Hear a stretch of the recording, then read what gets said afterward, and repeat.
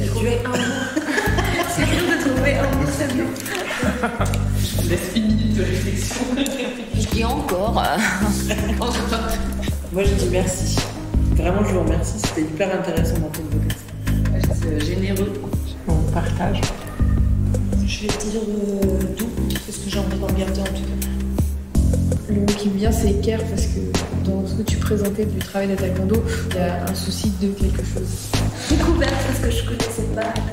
Encore. Copieur. Ah, il Et toi, Lucie Moi, je dirais nouveau. Par rapport à tout ce qu'on a déjà vu nous, dans les parlements. Et toi, Aline Euh, moi, je dirais regard au pluriel. Parce qu'à la fois, il y a eu les regards dans les photos, le regard de la table, le regard très différent. Littérature, etc. présente Les Parleuses, séance de bouche à oreille pour propagation du matrimoine littéraire. Je vais parler sans micro, c'est ok pour vous Au niveau de l'écoute? Ouais Bonjour à toutes et à tous. Nous sommes le samedi 15 juin 2024 au Bazar Saint-Saul à Lille et c'est la 46e séance des parleuses. Un grand merci à l'Institut pour la photo de nous accueillir dans le cadre du Book Market, un salon dédié à l'édition photographique, et tout particulièrement à Andrea Borossi, Andrea Janssen et Caroline Frézin pour l'invitation, et à Céleste Gallet pour le partage des pratiques. Merci aussi à Aline Bernard pour l'accompagnement sur cette séance. J'ai la joie d'avoir à mes côtés Julie Crène. Julie, tu es historienne de l'art, critique d'art et commissaire d'exposition. Depuis 2018, tu es commissaire associé à la programmation du Transpalette, le Centre d'art contemporain de Bourges. Tu es diplômé d'un master de recherche en histoire et critique des arts à l'université Rennes 2, durant lequel tu consacres un mémoire à l'art de Frida Kahlo. Dans la continuité de tes recherches sur les pratiques féministes et décoloniales, tu reçois le titre de docteur en art, histoire et théorie, à l'université Michel de Montaigne, Bordeaux 3. Ta thèse est une réflexion à partir des pratiques textiles contemporaines de 1970 à nos jours. À l'image de ton sujet d'étude, tu mènes depuis une recherche intersectionnelle à propos des corps, des mémoires et des militances artistiques. Quand l'Institut pour la photographie nous propose de dédier une séance à une photographe, c'est à toi, et notamment au travail d'archivage vivant, d'artistes et de démarches féministes, queer et décoloniales que tu mènes depuis 2017 aux côtés de Pascal Lièvre, regroupé sur la plateforme Her Story, que nous pensons immédiatement. C'est la première fois que les parleuses explorent un autre domaine que celui de la littérature et nous sommes ravis de te la confier. Toi qui envisages une exposition comme un texte, comme des mots dans l'espace et des idées qui traversent l'espace. Tu as choisi de nous parler de la photographe néerlandaise Atacando et je te laisse la parole. J'ai écrit, aujourd'hui je lis, je parle pour vous raconter une rencontre avec les photographies d'Atacando. Les parleuses, elles parlent, elles ont parlé et elles parleront encore bien longtemps.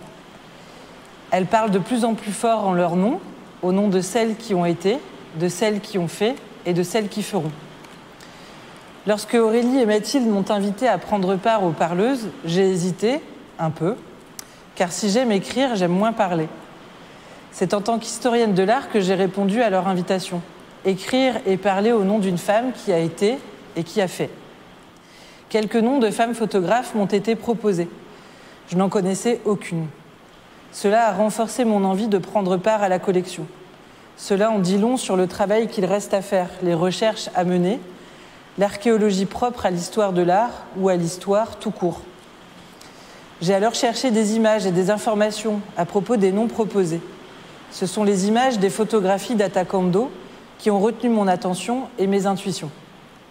Les photographies, tout en noir et blanc, capturent les portraits d'enfants et d'enfantes, de personnes issues de différentes communautés autochtones en Amazonie, des réfugiés hongrois et hongroises en 1956.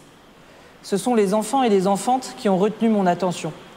Atacando a photographié son fils et ses filles, lors de moments de vacances en France et en Italie notamment. Les images témoignent d'une grande liberté. Elle a photographié les enfants et les enfantes réfugiés, les enfants et les enfantes dans la jungle et la forêt amazonienne. Sur l'écran de mon ordinateur, puis plus tard, dans quelques ouvrages consultés à l'Institut pour la photographie à Lille, les images des photographies ont attisé ma curiosité. J'ai eu envie de connaître l'histoire d'Atacando, de comprendre ses déplacements, ses choix et ses engagements.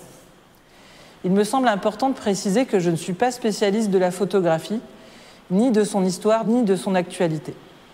Le texte dont je suis en train de vous faire la lecture n'est donc pas celui d'une experte quant au sujet propre à l'œuvre d'Atacando.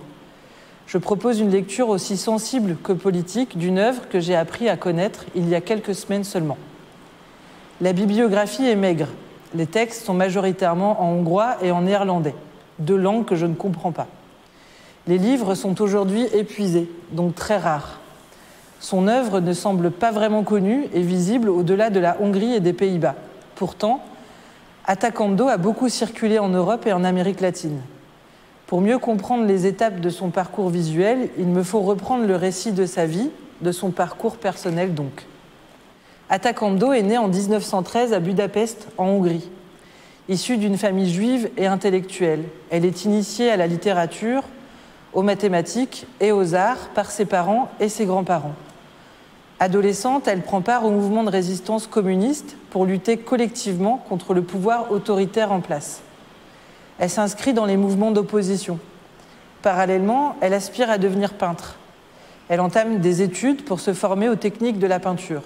C'est à ce moment-là qu'elle rencontre Giulia Kando, qui est née en 1908 et qui est décédée en 1968. Il est peintre et il va devenir son premier mari. Entre 1934 et 1938, le couple se déplace entre Budapest et Paris dans des conditions extrêmement précaires. En 1938, Atacando ouvre un atelier de photos à Paris. Elle photographie les gens dans les rues de la ville. Les enfants et les enfantes sont déjà très présents et présentes dans ses premières images. Avec l'occupation allemande, Giulia et Atacando sont expulsés de la France. Et reviennent à Budapest, leur premier enfant, Tamas, naît un an plus tard. Leurs filles, Julia et Magdolna, des jumelles, naissent en 1943.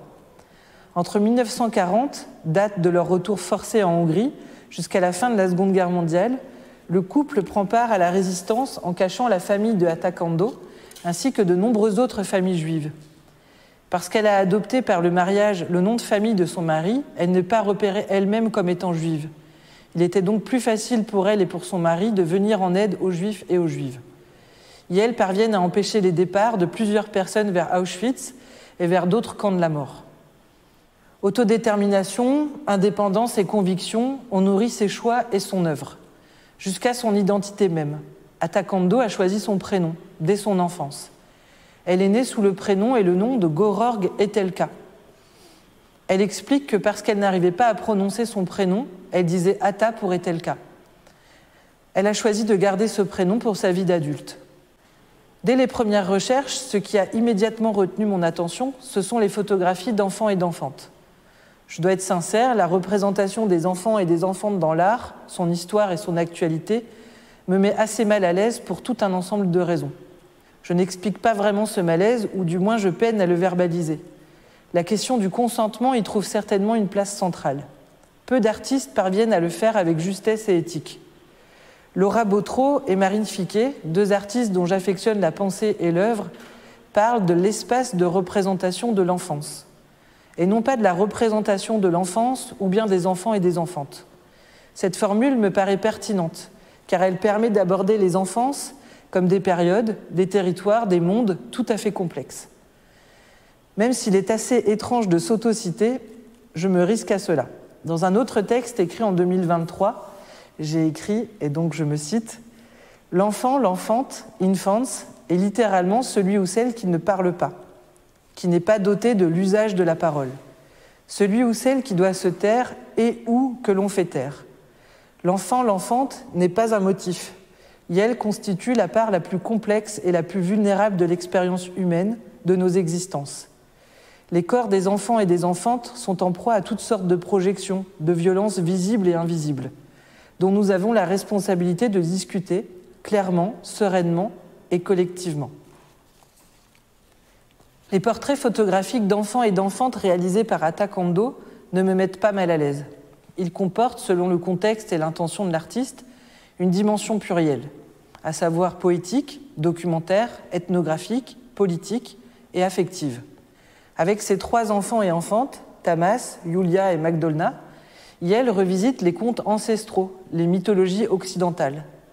Avec une grande liberté, les enfants et les enfantes jouent dans la forêt, à la plage, parmi les ruines de temples antiques, entre Naples, Pompéi, Herculanum ou Salerne, ou encore près de la rivière.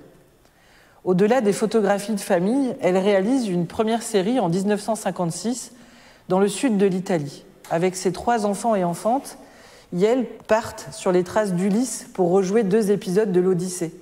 Tamas incarne Ulysse, le roi d'Ithaque, célèbre héros. Julia et Magdolna incarnent Calypso, la nymphe de la mer qui par amour a retenu Ulysse sept ans, et Nausicaa, princesse phéacienne qui a pris soin d'Ulysse lors d'un de ses naufrages. Les photographies en noir et blanc sont réunies et publiées en 2004 dans l'ouvrage Calypso et Nausicaa. Atacando a écrit l'avant-propos de l'ouvrage. Elle dit, et je la cite, Mes deux filles et mon fils, comme tant d'autres enfants, adorent se déguiser et jouer à la comédie. Atacando y parle de la fascination de ses enfants et enfantes pour le texte d'Homère, dont de longs extraits accompagnent les images. Celle-ci semble provenir d'un rêve où les enfants et les enfantes rencontrent les ruines de temples, dialoguent avec les statues antiques et peu à peu incarnent des personnages mythologiques. Comme les statues, les enfants et les enfantes sont des apparitions, les yeux ouverts, les corps en action, ou bien les yeux clos, les corps endormis. Atacando, par le travail des lumières, les éblouissements et les gris, renforce ici une dimension onirique et surréelle. Elle travaille aussi les échelles, celles des corps des enfants et des enfantes, face aux éléments, la mer, le vent, la terre, et face à l'histoire. Leur corps, leur présence semblent comprises au sein d'espaces et de temporalités illimités. La même année, toujours en 1956, elle va en Autriche dans un camp de réfugiés. Entre le 23 octobre et le 10 novembre 1956, la Hongrie connaît une véritable révolution populaire, une insurrection contre le pouvoir communiste soviétique en place. Toute révolution implique une extrême violence répressive. Plus de 200 000 Hongrois et Hongroises fuient leur pays pour éviter la torture, la prison et la mort. Préoccupé par le sort et les conditions de vie des centaines de familles réfugiées, Atacando accompagné d'une camarade photographe, Violette Cornelius, va à leur rencontre pour non seulement documenter ce qu'il s'y passe, mais aussi pour trouver un moyen de susciter une solidarité envers les réfugiés. Elle photographie le quotidien précaire et inconfortable des familles déplacées en Autriche. La surveillance armée, le froid, la boue, les conditions matérielles, la paille, les couvertures rêches, les couchages au sol, côte à côte. Par l'image, elle souligne l'impuissance, l'attente, la fatigue et le découragement. Elle se concentre aussi sur les regards fatigués, fuyants, inquiets ou sidérés. Plusieurs photographies montrent des adultes serrant des enfants et des enfantes contre eux. Il y avait tant d'enfants, certains étaient seuls, se souvient-elle. Les portraits témoignent d'enfants et d'enfantes en pleurs, d'enfants et d'enfantes qui jouent, qui sourient malgré tout. Des enfants et des enfantes aux cheveux rasés à cause des poux. Voici les mots d'Atacando. J'étais debout jour et nuit, je vivais comme un réfugié. Mes chaussures n'ont pas séché pendant deux semaines. Et seul le brandy que j'avais apporté m'a empêché de mourir de froid. J'ai fait des centaines de prises, je les ai envoyées aux imprimeurs. La rencontre la plus dramatique, c'est celle de Sarika, dont les parents sont morts pendant qu'elle fuyait, et qui ne regardait jamais ses pieds, seulement le ciel, et qui répétait sans cesse Maman va venir me chercher. Les photographies ont fait l'objet d'une publication intitulée Livre rouge et dont les ventes ont été reversées aux réfugiés. L'artiste a ainsi réuni plus de 250 000 dollars pour leur venir en aide. Parce que je ne peux pas me détacher du temps présent, les photographies d'Atacando résonnent tristement avec l'actualité. Près de 70 ans plus tard, dans un tout autre contexte, nous voyons depuis le 8 octobre 2023, jour après jour, des vidéos et des photographies d'enfants et d'enfantes de Gaza assassinés, blessés, amputés, décapités, effrayés, affamés. Des enfants et des enfantes de Palestine qui fabriquent des cerfs-volants avec des sacs en plastique, qui dansent, qui installent des salles de classe dans les tentes et qui rêvent de leur vie à la fin de cette tragédie humaine, un génocide. Les photographies d'Atacando s'inscrivent dans un continuum de souffrances perpétrées par les humains et les humaines. En 1957, Atacando revient vers la féerie et une narration joyeuse. Avec Tamas, Lulia et Magdolna, Yale revisite le conte de la Belle au bois dormant. La série de photographies est publiée sous le titre, ici traduit en français, Rêve dans les bois. Les scènes se situent dans les Alpes, entre la Suisse et l'Autriche, une nouvelle fois lors de moments de vacances en famille. Dans les profondeurs de la forêt, dans une barque voguant sur un lac, face aux montagnes, dans les chemins et les prairies, au bord d'un torrent, les enfants et les enfantes fabriquent un récit intime et fantasmagorique. À la manière d'un roman photo, les photographies sont accompagnées de courts textes écrits par Tamas, qui est alors âgé de 15 ou 16 ans. Aidé de mon téléphone, j'ai tenté de trouver des traductions justes du néerlandais vers le français. Tamas parle de ses deux sœurs, Julia et Magdolna, qu'il renomme Juliette et Madeleine. Il évoque des bizarreries étranges qui peuvent nous sembler stupides et absurdes. Juliette et Madeleine sont désignées comme étant des elfes qui ne sourient jamais et qui passent beaucoup de temps à nager dans le lac. Ensemble, ils vont cueillir des champignons. Madeleine s'émancipe, part dans la forêt pieds nus. Elle devient une vagabonde qui fusionne avec l'eau, le vent et la montagne. Elle ne craint pas le froid, elle confectionne une couronne végétale et florale. Elle rêvait qu'elle était une fée, la fée de la forêt. Sa maison était une souche d'arbres et tous les habitants de la forêt étaient ses amis. Elle est vêtue d'une jupe de fougère. Un jour, Madeleine entend un bruit lointain et aperçoit un jeune berger qui joue de la flûte. Il dévale une pente dangereuse et enneigée pour la retrouver. Le berger essaie de la manipuler avec le son de sa flûte, mais elle se réveille et se moque de lui. Tu n'es pas un berger, tu es mon frère. Et elles repartent vers leur sœur Juliette. La marche est longue et fatigante. Parce que les enfants et les enfantes apparaissent dénudés, torse nu, en slip ou en jupe de fougère. L'ouvrage a connu un succès public du fait d'une lecture érotique des photographies. Certaines librairies entre la Hongrie et les Pays-Bas ont pour cette même raison refusé de diffuser l'ouvrage. J'ai regardé avec attention chacune des images.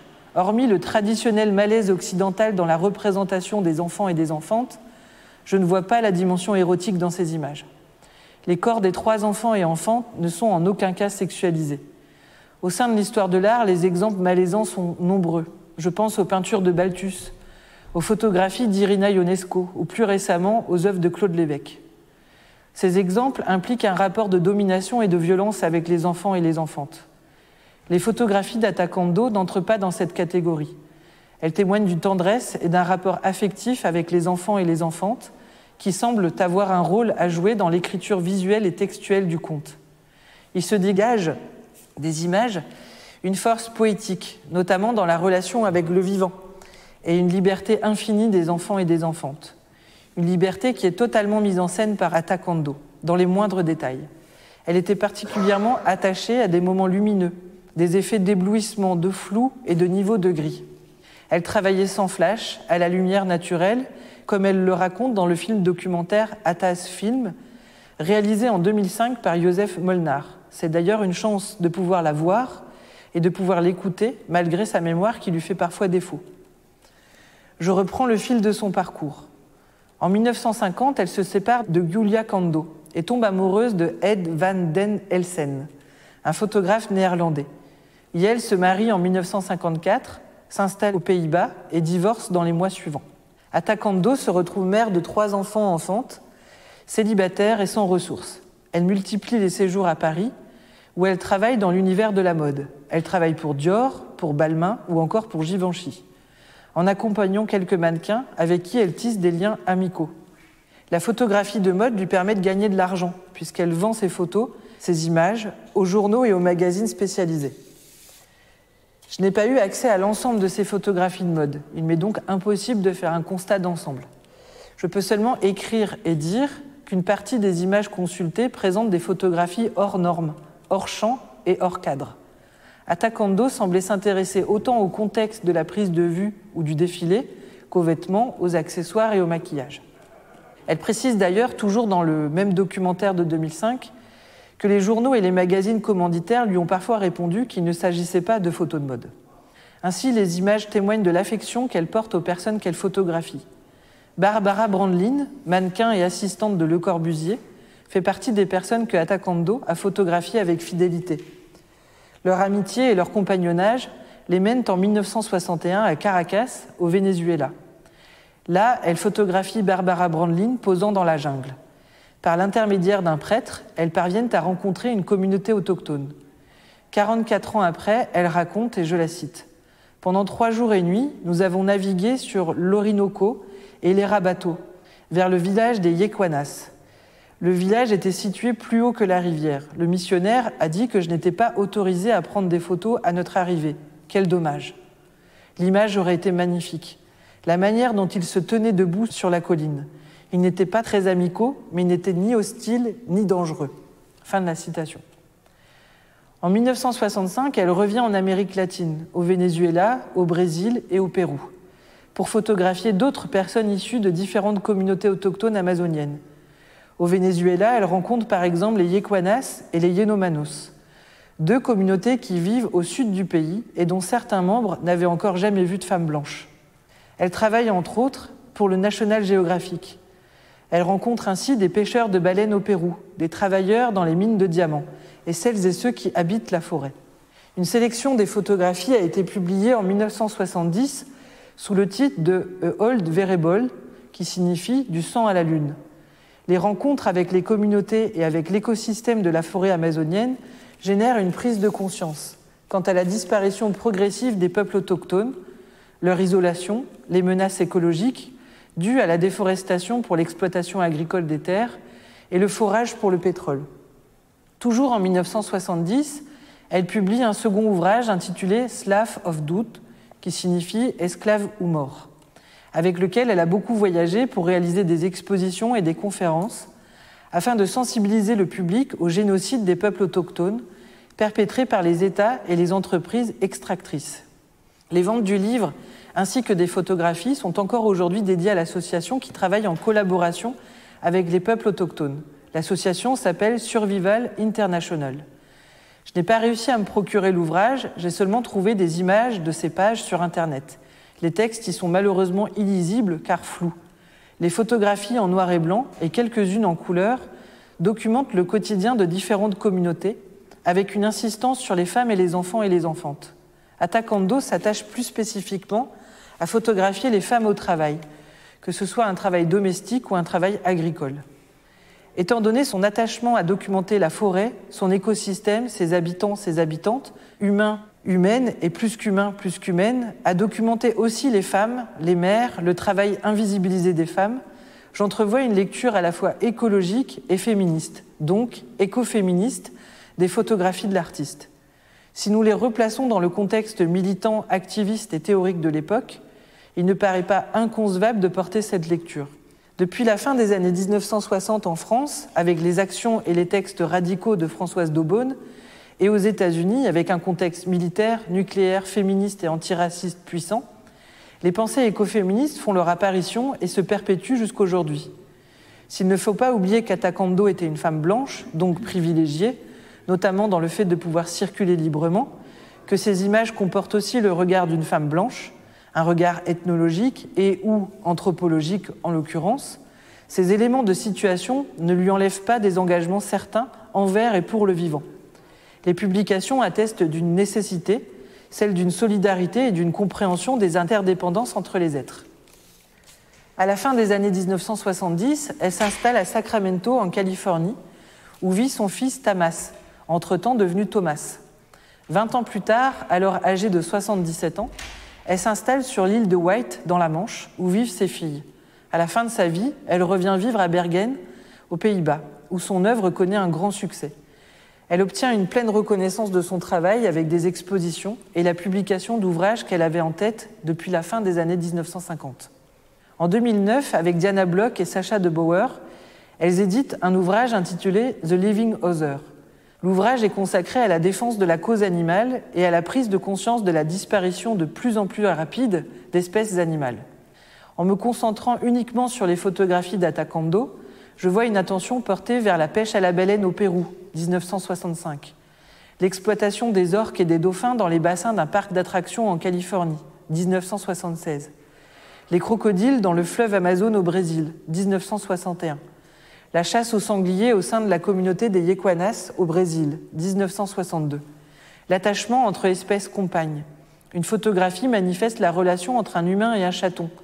Sacramento, 1998. Une autre montre une chatte qui a adopté une tortue. Amsterdam, 1963.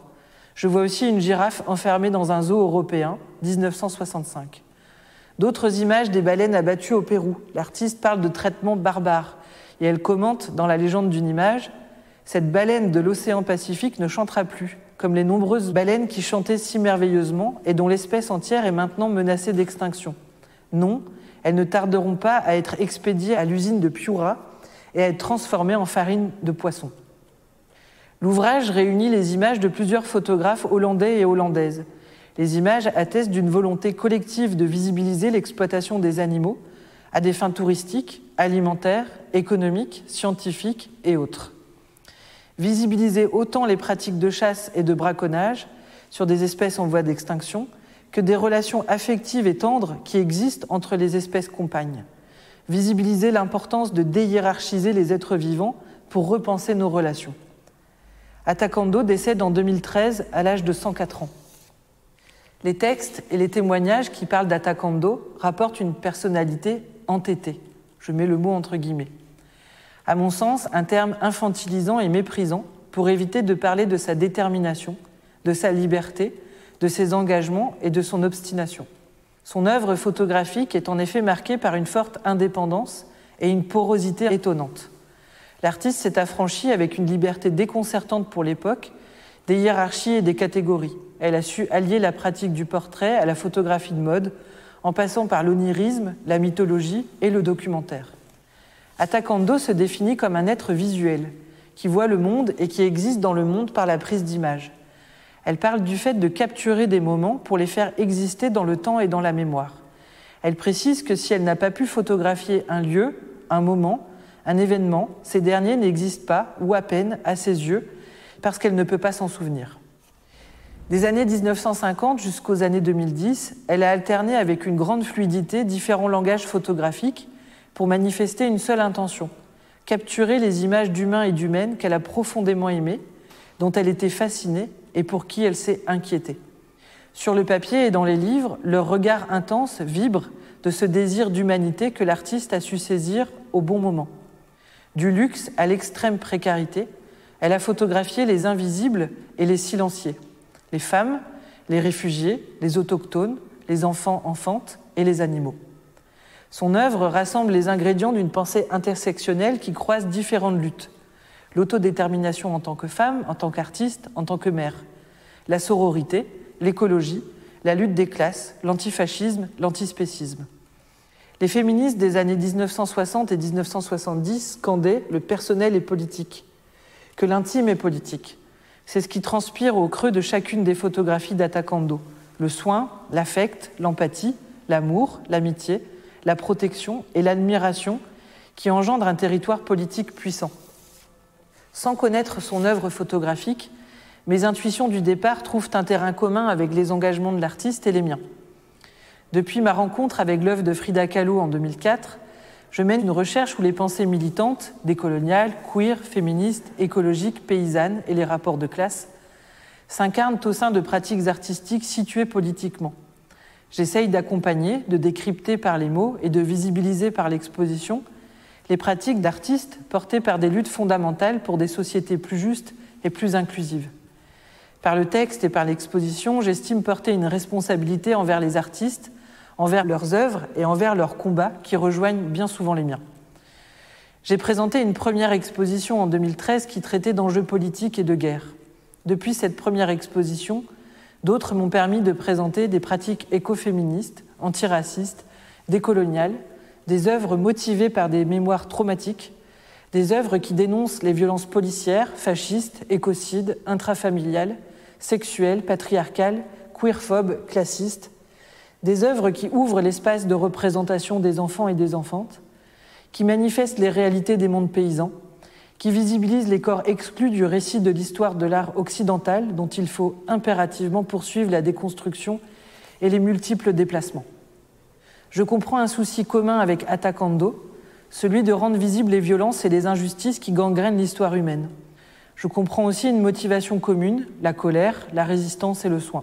Je suis heureuse que nos chemins se croisent grâce aux parleuses, heureuse aussi de pouvoir vous raconter son histoire, ses trajectoires affectives et militantes. Merci les parleuses.